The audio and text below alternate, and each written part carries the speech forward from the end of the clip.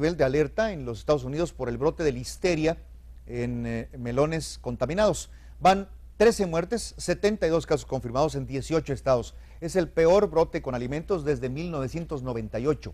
La FDA hace equipo con funcionarios de los estados para verificar mercancías en todos los mercados de la Unión.